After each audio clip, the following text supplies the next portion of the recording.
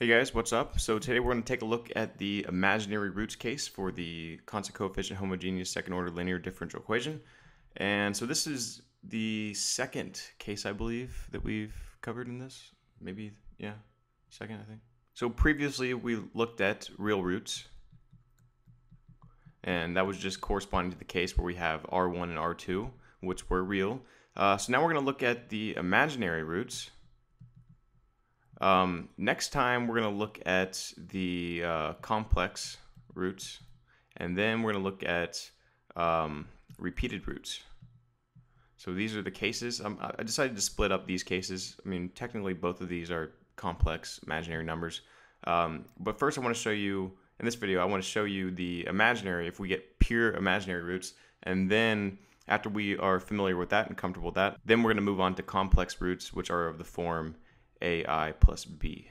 So it's a little bit different, but it's not too bad. So anyway, let's go ahead and get into it. Uh, so let's take a look at this example right here. We have y double prime plus y is equal to 0. And since it is a constant coefficient homogeneous differential equation, we know that we need to assume y is of the form e to the r times t. And if we differentiate this twice, what we get is r squared times e to the rt.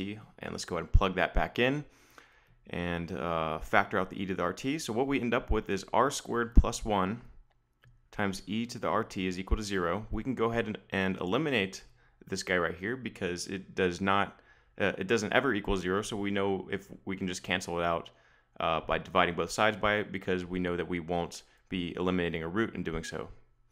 So anyway, what we get is the characteristic equation r squared plus 1 is equal to 0. So let's go ahead and move the 1 to the other side. So r squared is equal to negative 1. Take the square root, plus or minus the square root of negative 1, or in other words, plus or minus i. So right here we have a purely imaginary root, uh, or two purely imaginary roots, plus i and minus i. So if we go ahead and plug that back into our solution that we assumed up here, uh, we get two we get two uh, solutions. We get y1, which is equal to e to the i times t, and we get a y2, which is equal to e to the negative i times t. So instead of expressing our solution as uh, imaginary components, we want to express it as a real function. So what we want to do is we want to make use of Euler's formula, which says that e to the i times something, which we will call theta, has to equal cosine of that theta plus i times sine theta. So this is Euler's formula right here. Um, and it can be derived using the Taylor series uh, expansion for uh, the exponential function, e to the x, and cosine and sine. Uh, if you guys want to see that, just let me know in the comments down below and, and I can make a video for you. But anyway, for the purpose of this video, let's just go ahead and use this result to turn our two solutions into real components. So recall in a previous video, I said that any linear combination of two valid solutions is also going to be a valid solution. So what I'm going to do is I'm going to define a new solution. I'll call YA. I'm going to define this as some scalar, we'll call C1, times Y1 plus Y2. And since this is just a scalar times a linear combination of the two valid solutions, we know that this YA is also going to be a valid solution. So this is okay. And then I'm going to define a YB equal to another constant times y1 minus y2. And again, using the same logic, we can uh, conclude that yb is also going to be a valid solution. So the first thing that I want to do is I want to rewrite these two formulas, these two solutions using Euler's formula.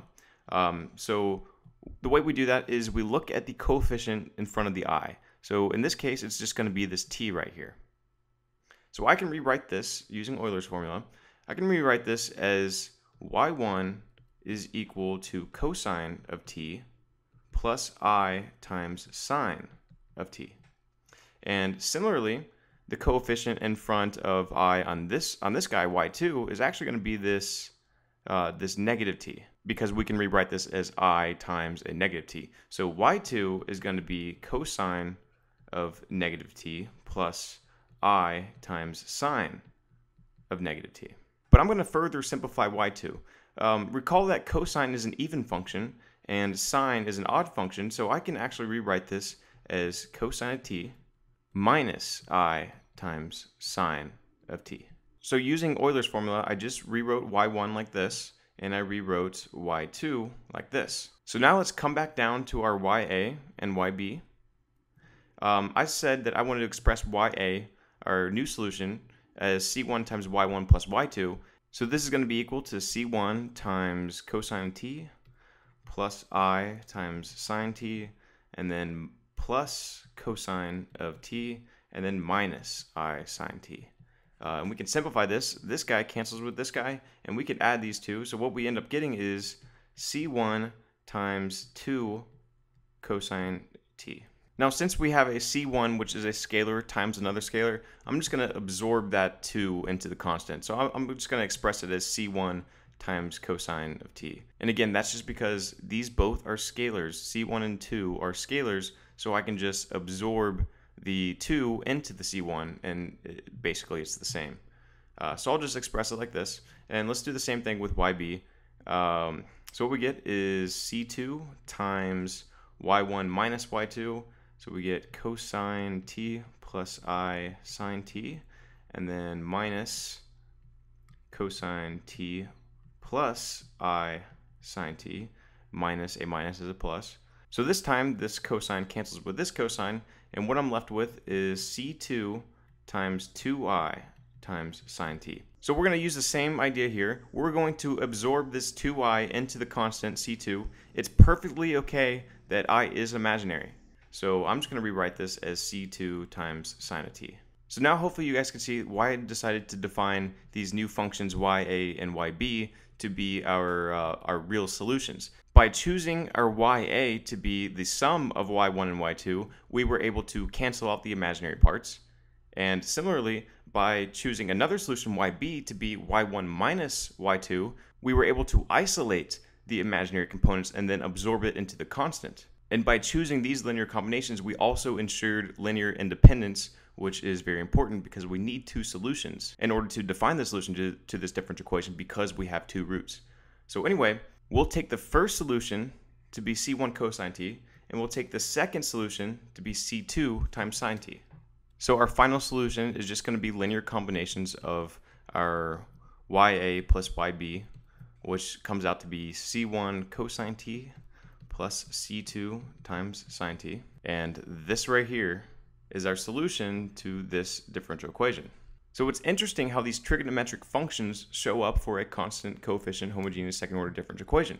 Uh, but if we actually look at the nature of this differential equation, we can kind of make sense of why that happens. We can make sense of why these cosine and sine functions pop up. And the reason is because what this differential equation is saying is that the second derivative of our function that we're looking for, plus its zeroth derivative, plus the function itself, has to cancel out to zero.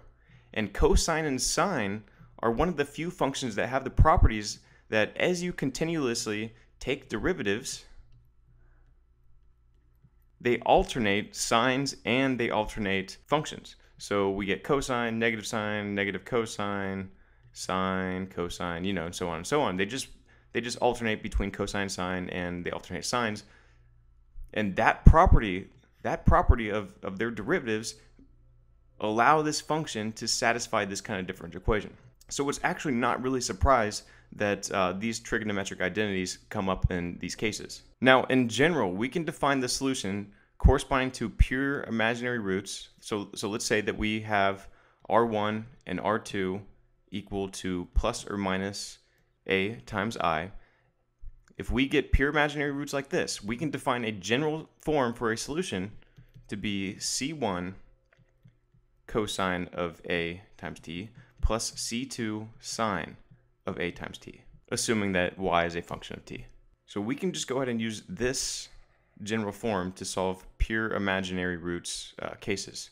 Now, in the case of this differential equation, in this example that we just solved, uh, our roots were plus or minus 1 i, 1 times i. So again, if we just plug it into this formula, we get c1 cosine of 1 times t plus c2 sine of 1 times t, which is exactly what we ended up getting right here. So anyway, that's all I wanted to say about pure imaginary roots. In the next video, we're going to look at complex roots, where we have r1 and r2 equal to ai plus or minus b. So anyway, see you all in the next video, and thanks for watching.